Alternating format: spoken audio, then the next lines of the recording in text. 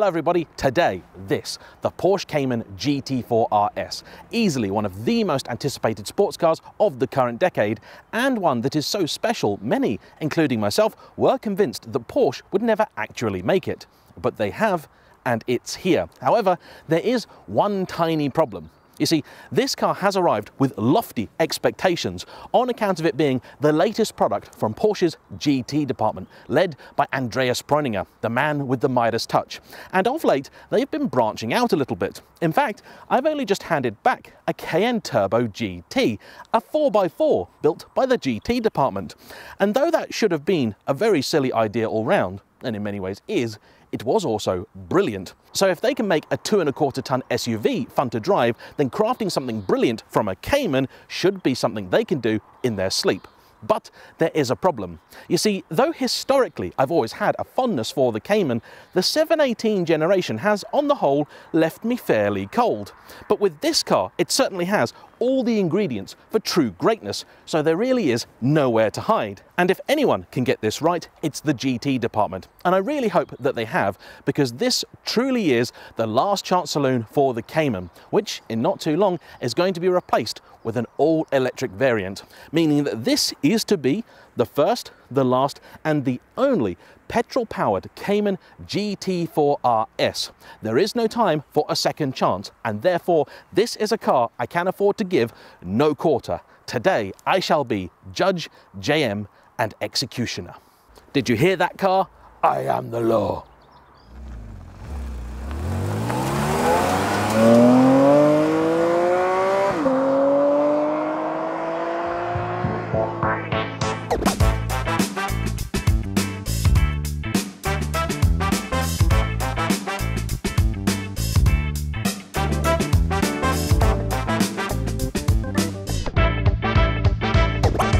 Before I take this car out and render judgment, I need to explain to you why it's not just a very special car, but also genuinely unique. And to do that, I need to tell you a story. One that will be a little bit abridged because it covers quite a time span and likely in a few places inaccurate, but hopefully you'll get the gist. It's called One Man and the many interesting places you can insert a hammer. A long time ago, there was a primordial ooze, and eventually something crawled out of it. A few years later, a group of men, presumably who smoked a lot and with facial hair, got together and invented the 911. They saw it and they said that it was good. And they would, wouldn't they? Because they'd invented it and they were men. Now, I cannot say exactly what it was that they had been smoking, but evidently one of them at least had thought it was a good idea to put the engine in the back of their sports car. Presumably, nobody saw fault with this because their last car, the 356, also had the engine in the back. And that presumably was because the car before that they had a hand in also had the engine in the back, that being the Beetle. You may have heard of it. However, that was a car designed to be economical, and the reason the engine went in the back was because, at the time, it was an economical and clever way to do things. But in a sports car, not so much. The net result was that the early 911 in particular had some unusual and undesirable handling characteristics, a reputation which haunts it to this very day. Now, most ordinary people, and I would wager most women, would look at that and go, hmm, we've made a mistake here, let's move that engine forward into the middle where it probably should be, something that, by the late 1960s, other manufacturers were already doing.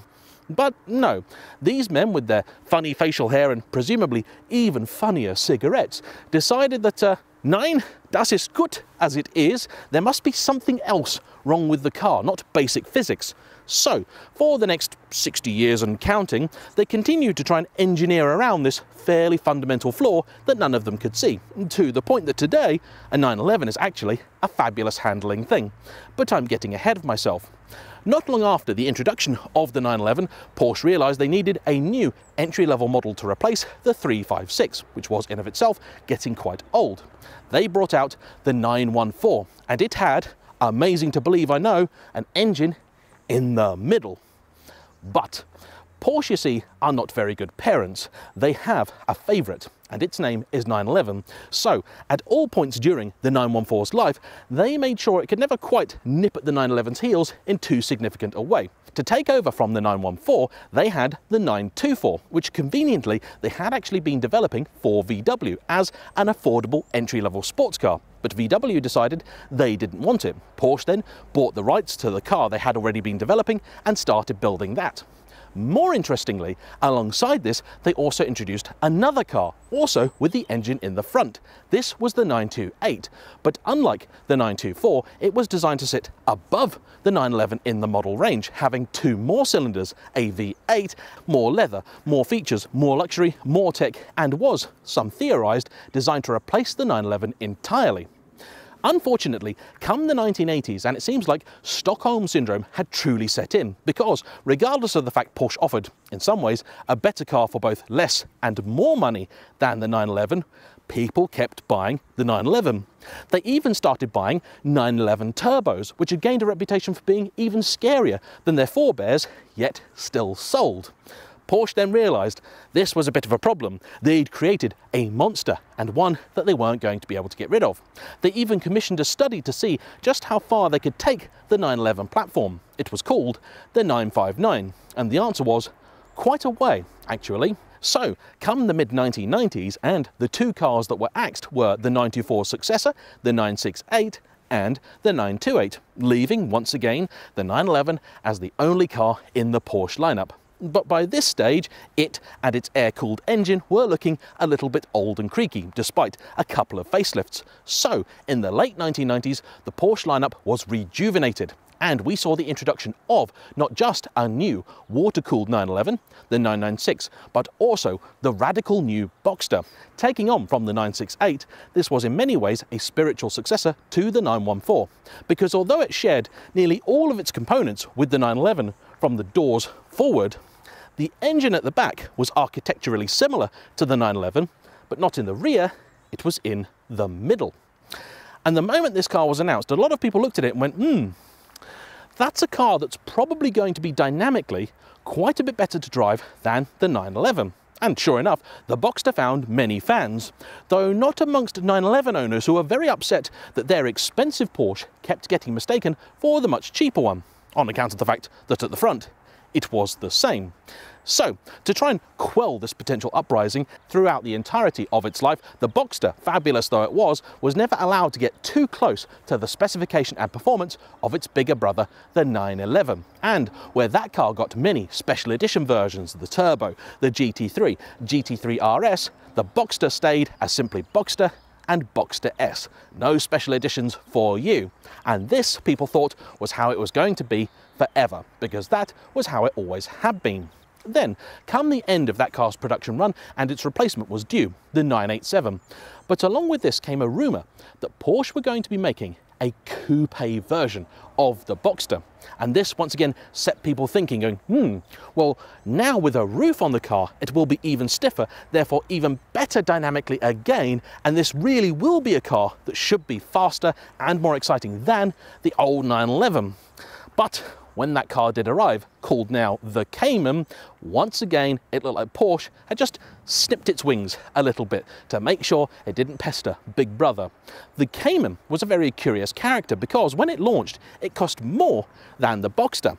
And in Carland, having the coupe cost more than the convertible is all backwards and stuff. So to justify that price increase, it had just a little bit more power. But disappointingly, Porsche once again made sure it didn't have quite as much power as a regular 911, nor did it have a limited slip differential, or in some cases, even the option of one. And so everyone who drove it said, this is a fabulous car. Brilliant, really, dynamically superior to the 911, but just lacking the firepower that it really deserves. And we all stood there and went, oh well, close but no cigar once again from Porsche. Then they said that they were going to do a Cayman R, and we all got a little bit excited because we thought, ah, finally, they might actually be doing it. Is this a Cayman with the power of a 911? Because that'll be something truly special. Then it arrived, and it was a Cayman S with a few extra options, a token amount more power, and a slightly smaller fuel tank to fool everybody into thinking that it was lighter. And so we all stood there going, you know what? We should blame ourselves, really. We were silly for thinking that Porsche were ever going to do it. Clearly, the Cayman is never going to be allowed even close to the 911. Time went on, a few other variants came out, but again, nothing ever quite that good. On comes the 981 generation Cayman and Boxster, the new variant. And then we hear a story about something that turned into the Cayman GT4. And this is where things got really exciting because Porsche went further than any of us could have dared dream.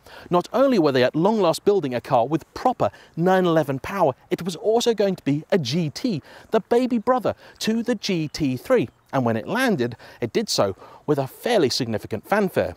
But still, some were disappointed because, though it had the front suspension from a GT3, what it did not have was a real GT engine. Instead, it had a slightly detuned version of that you'd find in a regular Carrera S, which was, of course, a lot more than many Cayman owners had been used to, but still, in the eyes of many, not enough. And once again, people were stood there going, ah, so close, and yet so far. Here was proof material that the car had oodles of potential, and yet you knew, you got that feeling that Porsche was still very, very wary of the Cayman stepping on the 911's toes, to the extent that if you look at the specs for a Cayman GT4 and a regular 911, there's quite a gulf between them, even though in the real world we all knew that the two cars were pretty much matched. And this was a shame, but we thought this was how things were to always be. Then a big blow with the arrival of the 718 generation of Cayman and Boxster, the next version, because out went the naturally aspirated six cylinders for the whole range, and in came a series of four cylinder turbo engines. All us petrol heads breathed out a sigh and went, oh. Once again, by many a petrol head, this was seen solely as an attempt to create a little bit of distance between the entry-level Boxster Cayman and the 911, the gold standard. But then we heard there was to be a new GT4 and we all got very excited indeed. The car was eventually announced and it had a proper naturally aspirated six-cylinder engine. More than that, one they had created from the ground up based on the 3-litre twin turbo in the 911. That was quite a surprise. They'd gone and built a whole engine just for the GT4. That was pretty cool. But still, not quite enough. The car was more aggressive, more aero, more serious, more hardcore, more stiffer, more lower, more everything, but not a full fat GT because we all knew deep down that if they gave that engine to that car, it would show up many a 911. And the fact was that in this time, the 911's engine itself had been slowly moving ever forward to the point that that car was also nearly mid-engined. There is a reason that when you open the boot of a 911 now, you cannot see the engine at all. It's no longer there. It's about here. And then pictures started circulating of something going around the Nürburgring. It clearly was a Cayman with some different aero addenda on it, but nobody was really sure what was going on. I personally thought they were testing a new race car. And then it turned out they were building this. This is a Cayman with the front suspension from a 991 GT3 and the engine from a 911 GT3 technically slightly detuned, making only 500 horsepower on account of the fact it's got a different exhaust to a 911. But otherwise, this is the car that so many people have been waiting for for so long. This is the car that perhaps we're only getting because the Cayman is now on borrowed time and Porsche no, it will not be succeeded. This is the car where Andreas Preuninger and his team were evidently given a blank sheet, a big checkbook and told, go on, make that car we've all been waiting for. This is the sort of car that you would normally expect to see only in the museum. Yeah, we trialled it as a concept, but uh, the bean counters upstairs said it would never work. The amazing thing being that the list price of this car actually is shockingly reasonable, about £110,000 plus options. And the ingredients list really is spectacular. You've got some serious aero, front to back, swan neck rear spoiler, big wheels, bigger brakes, these lovely vents in the arch here for the Weissach pack, a carbon fibre bonnet, carbon fibre wing mirrors, carbon here, carbon here, carbon here, carbon here, and carbon intakes on the side feeding in the centre of this car a genuine fire breathing, 4 litre, naturally aspirated, 9,000 RPM, six individual throttle body screamer from the 992 GT3. All it's missing over the 992 is the double wishbone front suspension, but this still has the last generation GT3 suspension in any case. And it really is truly a spectacular thing. Many, many people thought this just would not ever happen. The sheer concept of it alone is really quite exciting. But what about the execution?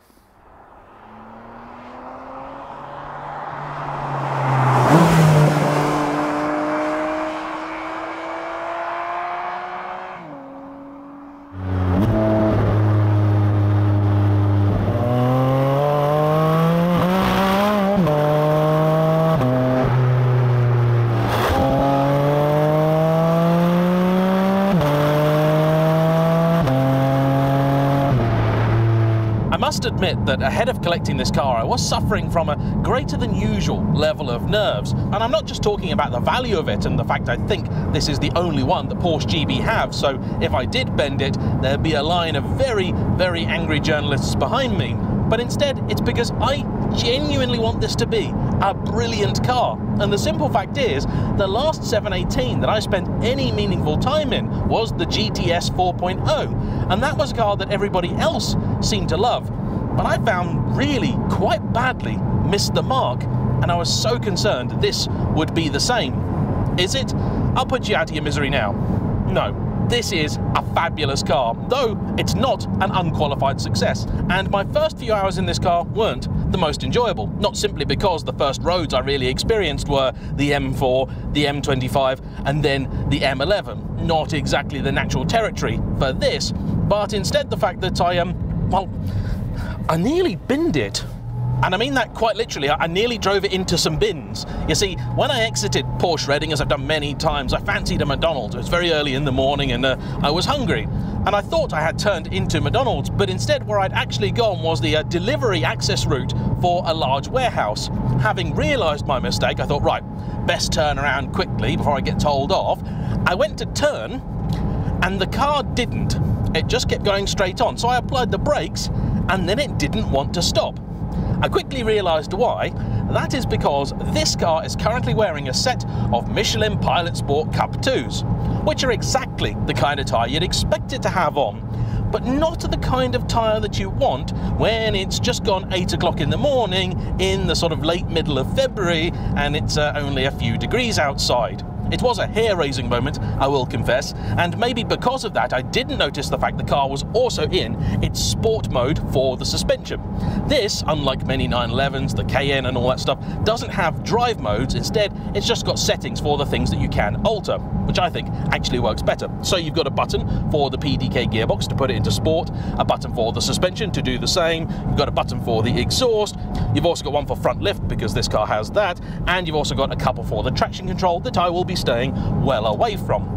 The suspension was the first thing that I noticed because in sport mode, this car is unrelentingly firm. It is absolutely unbearable.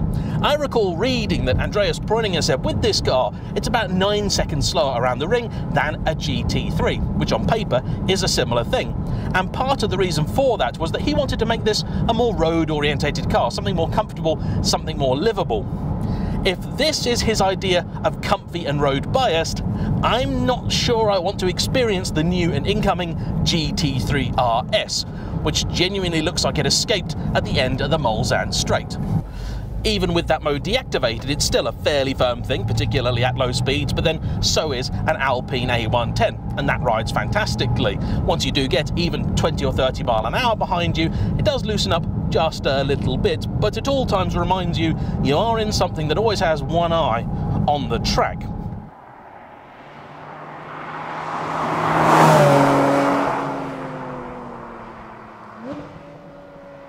as you might expect, and I'm sure you've read, this car isn't a natural motorway cruiser. I had thought that might be on account of the fact the engine now lives in the cabin with you, but actually, that's not the issue. Provided you keep the exhaust button off, otherwise it's just needlessly boomy, the biggest problem is road noise. It's bad. On anything other than a glassy smooth surface, it's really very loud in here, annoyingly so. But you see, that I knew. What was more of a concern was how good it was actually going to be when you get to this bit. So let's talk about that.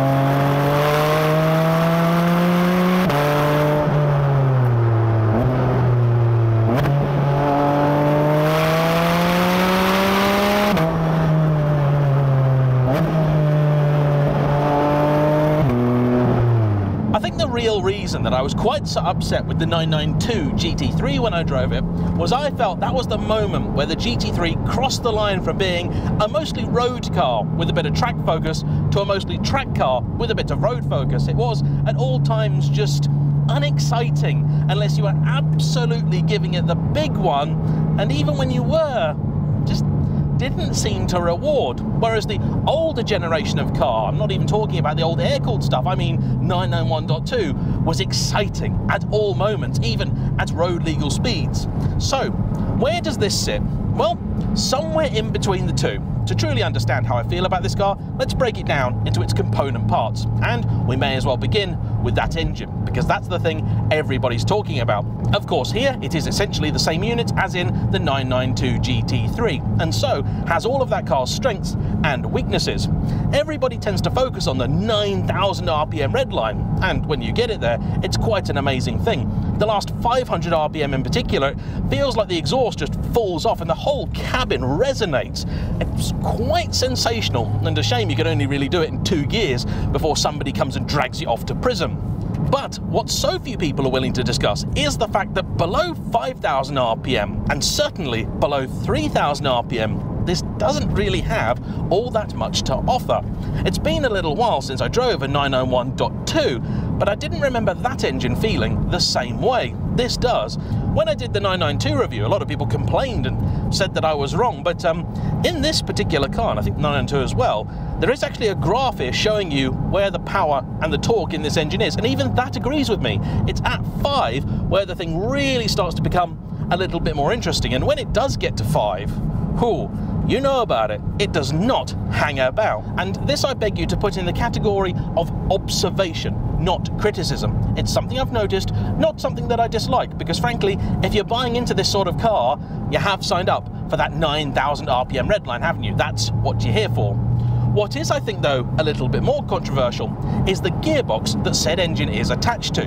Here in the GT4 RS, you have exclusively a 7-speed PDK which to be fair, I can't count against the car because if you were to buy a GT3 RS, it would be the same. And in many ways, the gearbox pairs perfectly with the rev-happy engine.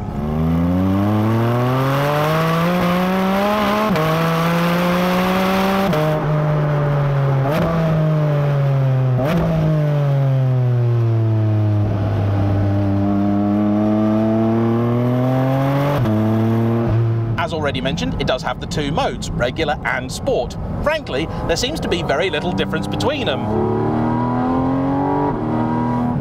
But I confess to being a little bit disappointed with it because in auto mode it's fine when you're at low speed, low throttle, it does a fairly good impression of a regular automatic. Porsche's PDK has always been one of the best for that. But when you go to then make an overtake, you put your foot down even a little bit, and it won't change down one or two gears, it'll change down about four, which if you were in sport mode, I could forgive. But it's done that when I haven't been, and it's um not just terrifying, because that I think is maybe a little bit harsh and unfair, but it's a bit obnoxious. Does attract a lot more attention than it needs to, and um, it's just not necessary. Trying to go past somebody who's just minding their own business when you're doing 7,000 RPM no, no, no. The other thing for me, and I think what bugs me a lot more, is the fact that it lacks drama. The 991.1 GT3 had a PDK gearbox which was revolutionary because that was the first time it had felt exciting. The gearbox was an event, and this meant a lot because in that car, if you recall, was the first time that a GT3 had not been offered with a manual. This to me really does feel like quite a step back. Technically, it's absolutely amazing, particularly in sport mode. It will give you incredible downshifts. Here, I'm going to go from sixth to second. That's decent. I like that. But it's on the upshifts where it's still very, very quick. Obviously can't show you in town, but just doesn't have that crack, that pop, that little moment to make you go, oh, that was fun. I love that. And that to me really does take away a big part of the experience.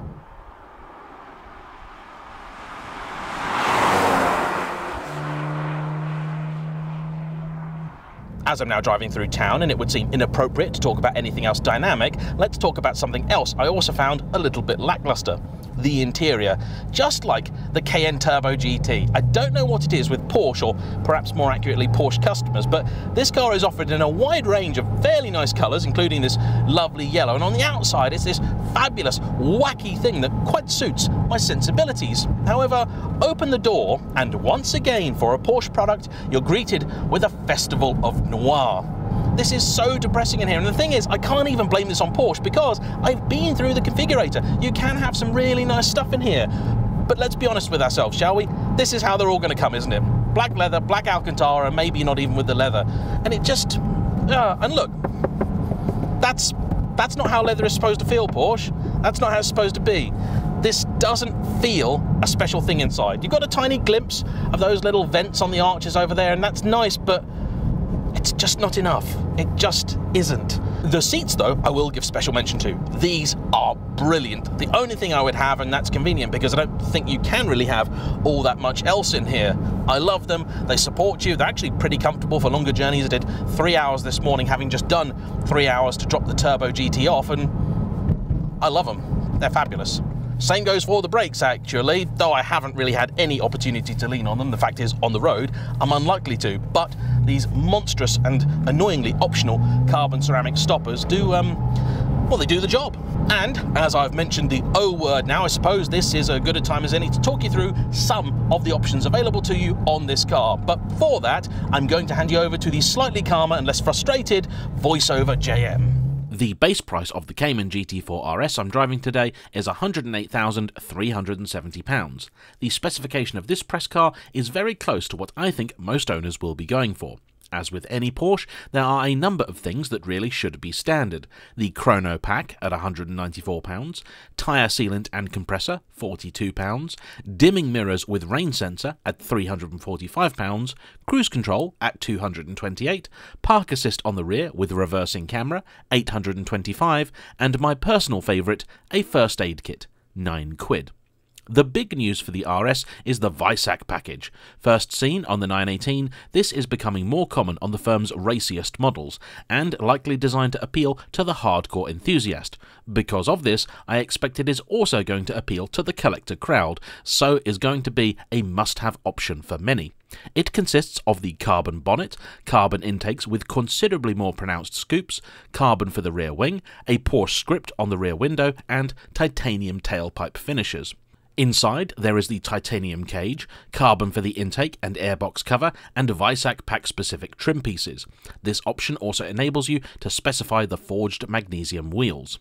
The Weissach pack with the roll cage is £12,305 or £9,804 without, though the Porsche website and my spec sheet seem to disagree on the exact pricing. And if you do want those magnesium wheels, they're another 11.5 grand. What upsets me most about this pack is that it features all of that carbon, but if you want the small triangles by the mirrors to be in it as well, that's another near 400 quid. More items off the options list fitted to this car include the front lift, essential and £1,835, and the rock hard leather interior pack, which might not feel great but does look better than standard, and that's £1,242. Without it, you'll see a lot more Race-Texs, particularly with the Weissach pack equipped. My favourite item though has to be those bucket seats. You can fit standard multi-way adjustable ones in the car if you want to never be able to sell it. However, what's notable about this specific example is it has the 3D printed body form foam. £1,895, but I tell you, it works. They felt great. The other big option on this car was the ceramics. Given it was obvious these were all going to be highly spec'd, track-focused cars from the off, I really don't know why Porsche continue to have them as an option, but they are, and a £6,000 one at that. All of this brings the total of the car to £1,333,549. Excellent value, and utterly and completely irrelevant, as we'll later discuss. Now, back to the action.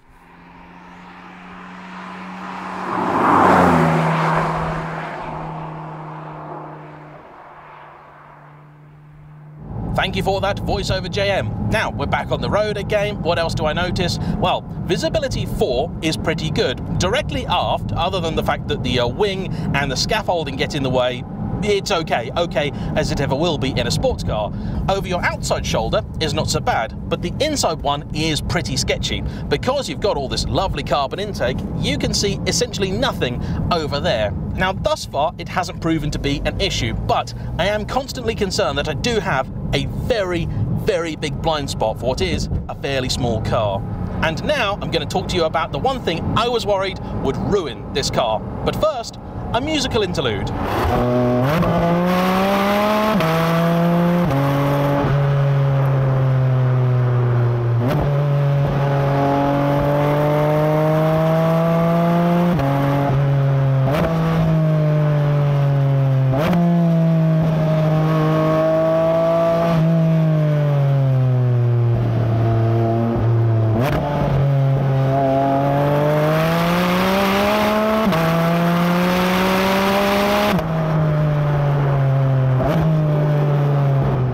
It's loud in here, isn't it? Right. Steering. This is what I was so worried about. The 992s was good, but not great. And in the last 718 I drove, it was a deal breaker. At low speeds, it was full of promise and a little bit of weighting, and I thought maybe it would work. After all, electric power steering, as this car has, is another thing that the GT department seemed to perfect. The first 991 911 just wasn't that good, but the GT3 really sorted it. And though it never achieved the giddy heights of the old hydraulic steering, it was certainly more than good enough. Here, the first few hours, I just thought, oh no, oh no, the steering, it's just not right. So inert, no communication. But that was because I was on the motorway with freezing cold Cup 2s. Then I got onto more interesting roads. The tyres began to warm. I built a little bit of confidence. And at that moment, where in the GTS, the steering should step up to the plate, but instead goes on holiday, this steps up. Like the 992, it is not brilliant, but to criticise this really feels like telling somebody that they didn't do so well at the Olympic Games. They still got to the Olympics, that's still a fair achievement. And this, though lacking that feedback you get in some older cars, is still pretty darn good. The weighting is just about spot on. You get a little bit of texture, and most importantly, you do get a feeling for what's going on at the front of this car.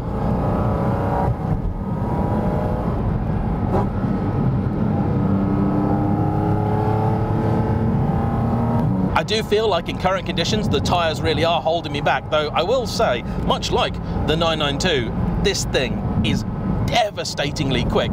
Were I out here in my 430 Scuderia, which on paper is a similar thing, stripped out, hardcore, road racer, similar weight, similar power, the Ferrari wouldn't see which way the Porsche went. This is mad, this thing. And that may actually be, odd as it sounds, a criticism because this car really does egg you on to go quite quickly. You chase that 9,000 RPM red line, then realise you're barreling into a corner at um, a quite unthinkable speed. Certainly an unspeakable one. All right, not that you care. What's the turning circle like? It's, uh, it's not bad actually. So here's where this rear three-quarter visibility can be a pain, but I have got a reversing camera.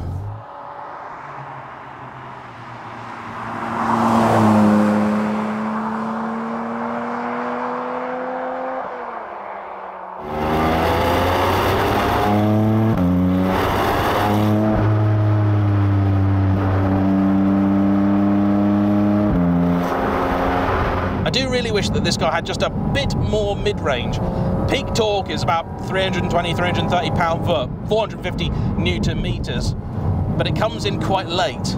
According to the little graph down here for torque, I get most of it at about 3000 RPM, but more tellingly, like the power, there is a big swell in it between 5 and 6, and that really is where this engine wants to be. It's just a shame that uh, if you've got any kind of social conscience, that's not somewhere you can be all that often or for all that long. I will also say that here, the suspension does seem to cope with the road just that little bit better. Mr. Preuninger was evidently true to his word.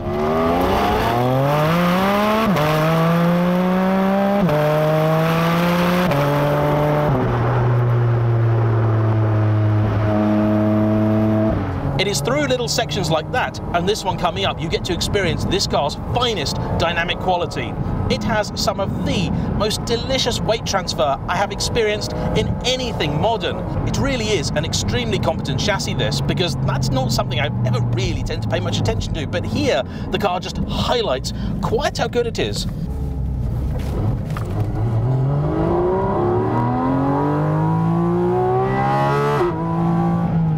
It's a bit like the class boffin showing you his latest project and you're annoyed that he's showing off, but he is also quite good at it.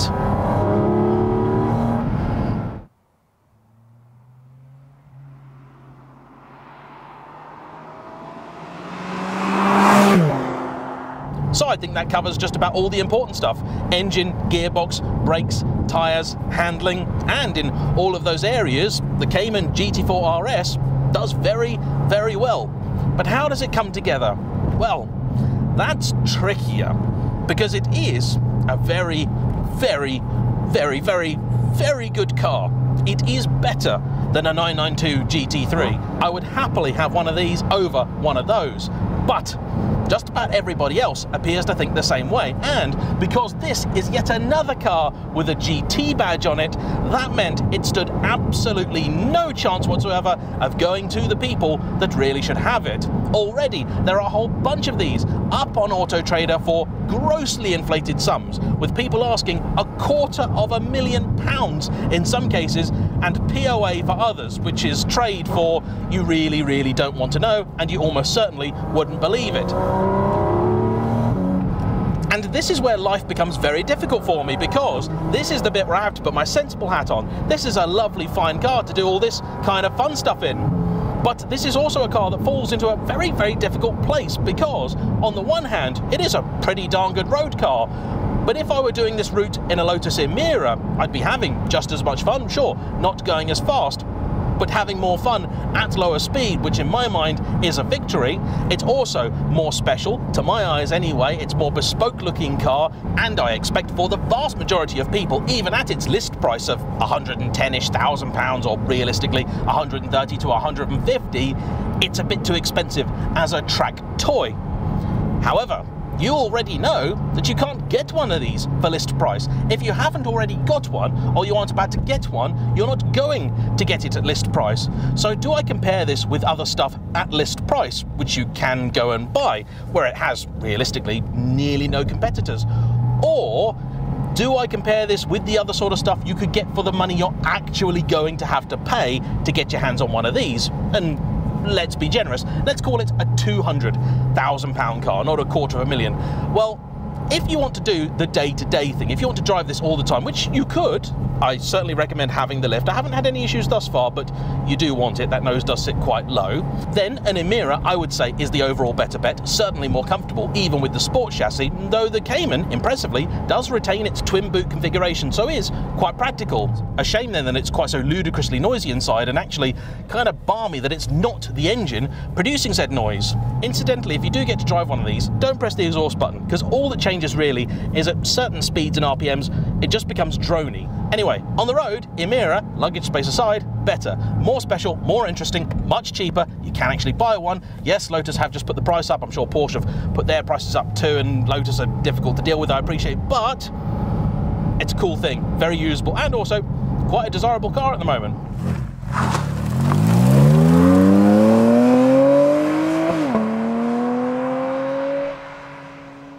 But then as a track toy, I suppose you could go and buy a, a Caterham and a nicely spec'd, barely used Cayman for the same money as this, and you'd have a better road car and a better track car. Let's then consider you don't want to use this daily. Instead, you've got it as a weekend toy, something to take out when the conditions are right, to have a little bit of fun for a few hours in. Well, if you're thinking about dropping £200,000, that opens up a whole world of pretty serious and extraordinary machinery with genuine theatre. That money will get you into a Lamborghini Aventador, the definitive supercar of the last 10 years, an incredible V12, and though it has its failings, you cannot argue with the presence and the theatre of that. You could also get, for quite a bit less money, a Gallardo Superleggera, which is equally as dramatic, a little bit more usable on our roads, and a very, very fun thing for an hour. Also, very stiffly sprung, more so even than this. But um, if you're into your Lambos, that could be an option. You also, at that money, have access to a whole world of 430 Scuderias, a car that's a little bit closer to home and one that I've had in mind the whole time I've been driving this. And the fact is that the 430 is a little bit more practical than you might expect.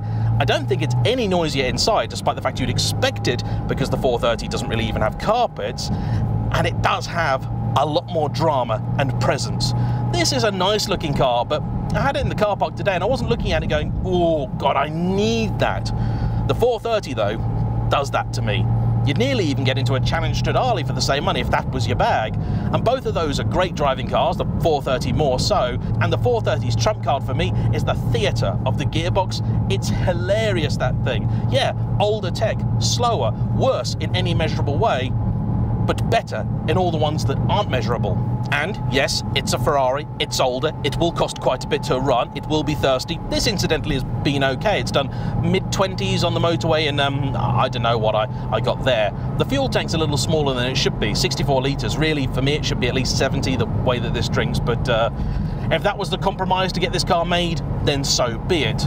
I was genuinely worried that I'd get into this review and then leave it going, ah, oh, I'm so frustrated I can't have one of these, or certainly not a new one anyway, and that's the only way I'd want it because I'd need to spec it to my tastes. Tart's handkerchief, in case you were wondering. But actually, it's a lovely, really, really very nice thing. Five out of five, nine and a half out of ten. But am I excited by it? No. I'm impressed by it, thoroughly impressed by it. It's extremely competent and it's very fast and it's very wonderful. And if you're into your Porsches, I can see why it gets all the praise that it gets. But am I going to be ringing Porsche dealers to sell my soul? No. Does that mean this car is a failure? Not a bit of it. I am enormously thankful to Porsche for allowing Andreas Preuninger and the team to create this at all, and I'm thoroughly delighted that at long last, the final generation of the Cayman, the 718, has not just a brilliant car in the stable, but this also is a fitting and wonderful epitaph for the naturally aspirated mid-engine Porsche. It took a bit longer than I would have liked for them to get here, but they did get here, and for that, I'm glad. Big thank you to Porsche GB for lending me this car, and as ever, to you for watching. Don't forget to hit the like button, comment down below, subscribe if you haven't already, and I'll see you for the next one. Bye-bye.